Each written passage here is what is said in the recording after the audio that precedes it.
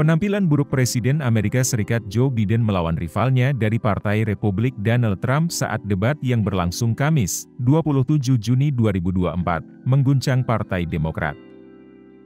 Kondisi itu juga mendorong beberapa ahli strategi untuk bertanya apakah Partai Demokrat harus mengambil langkah yang belum pernah terjadi sebelumnya untuk menggantikan Biden sebagai kandidat mereka.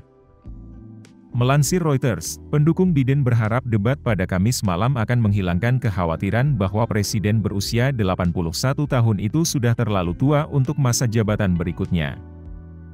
Namun dalam debat yang berlangsung selama 90 menit itu tampaknya berdampak sebaliknya. Biden dan Trump, 78 tahun, sama-sama menghadapi kekhawatiran mengenai usia dan kebugaran mereka menjelang pemilu 5 November 2024. Namun dua faktor tadi lebih membebani Biden. Dalam penampilan debat perdana, Biden tampil dengan suara yang serak.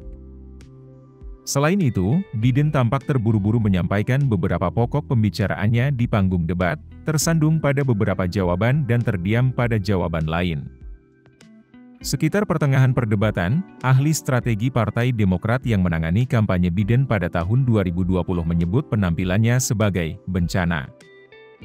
Tidak ada cara untuk memutarbalikkan hal ini, penampilannya didiskualifikasi, kata seorang penggalang dana terkemuka dari Partai Demokrat yang berbicara tanpa mau disebutkan namanya kepada Reuters setelah acara tersebut.